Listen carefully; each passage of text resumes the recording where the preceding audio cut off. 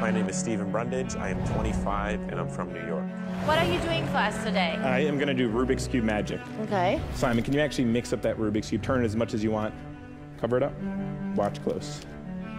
Right about there. No. Perfect match. When I was really little at school, I had speech therapy and physical therapy. I was pigeon-toed, so I was walk inwards like that all the time. I was bullied pretty heavily. But then I discovered the Rubik's Cube. I brought it to school, and within like two minutes, I had a giant crowd of kids around me watching me solve it. So it became a way for me to connect with people, to make friends, to feel like I belonged. I take my Rubik's Cube everywhere I go for the most part, and it's gotten me out of trouble a few times. I was pulled over speeding. So I stepped out of the car, and then I did magic for the cops. Holy How did you do that? I got out of the speeding ticket, which was nice. All right, man. Well, I wish you the best. Okay, thank you. Go out there and show them what you do. Will do, man. Thank you. I have one chance to get to the live shows. If I make one wrong move, the entire routine is ruined. These are the most important 90 seconds of my life. Hi, Steven. How you doing? I am very excited. If you won this competition, what does winning mean to you? That would be the most amazing thing in the world. That'd be like, oh, Continue on, please. fantastic.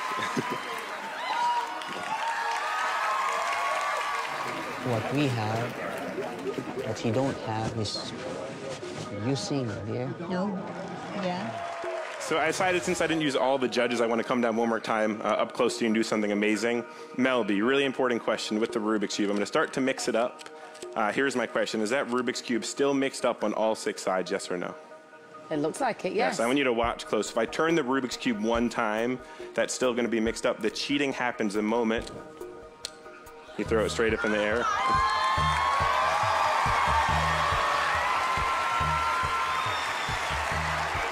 This time twice as hard. We're going to take the Rubik's Cube. It's going to happen right in front of your face. If you actually blink, you're going to miss it. Watch. Completely mixed up from there, less than a millisecond. What do you do with that? That's This is making me nervous. Reba, can you help me out? Sure. Awesome. I'm going to step right up here. Reba, hold out your left hand flat for me there. Everyone, watch the bottom of the Rubik's Cube closely. Watch that close. Like that. Now, your job is to guard that Rubik's Cube to the very end of the trick. Can you do that? Yep. Fantastic. 'Cause Under nothing's going to happen. Don't worry about it. Okay. And we're going to do a card trick real quick during this moment. Um, Heidi, can you actually help me select the card? Yeah. Fantastic. Before you select the card, really, really important, I'm going to make sure to give that deck a really good shuffle. So as I go through the cards, any card that you want, it's a completely free choice at a 52. Heidi, when you see a card you want, name it out loud. Yes. Any one you want. The six of diamonds. The six of diamonds. Wait, okay, that card in the middle. Very important question. Have I touched that Rubik's Cube, Reba, since Nope. I gave it to you? No, sir. Everyone watch the six of diamonds closely. Watch that close. Is he tearing it up? Watch that tiny little corner piece. I'm not moving my eyes off. You can look at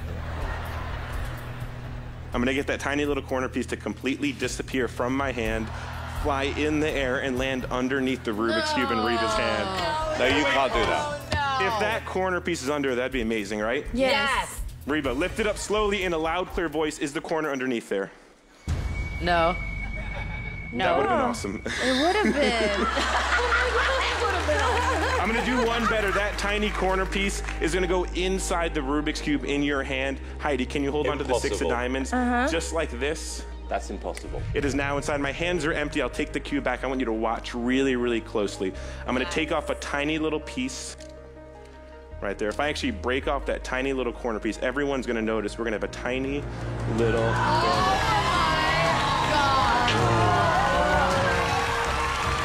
Reba, do you mind unfolding that corner piece?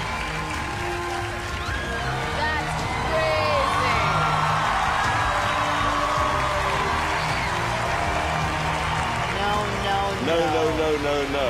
Yes, it is. No, no, no, no, no. Oh, yes, yes,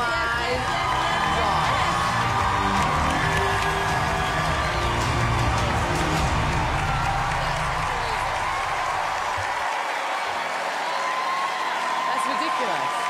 How do you do that? Wow. Nobody can do what you just did unless it was true magic. Thank it you. can't, because we were watching it. But this is almost like not like a magic trick. It just happened. It's magic. Because I was holding it and that and nothing, and I wouldn't take my eyes off of it, and there it was. You're very, very good. Yes. Congratulations. Okay, Howie. Wow. Yeah. Um, Me too, ditto. amazing magic. He- Here's my question.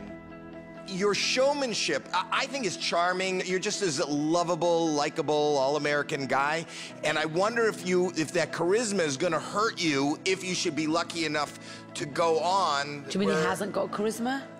I don't think he's got showmanship. Oh, he does. I totally disagree with what you're saying. I don't know what you're talking about. Your charm is that you just so casually do this. And what you do is absolutely mind blowingly amazing. Well. Thank you. Thank you.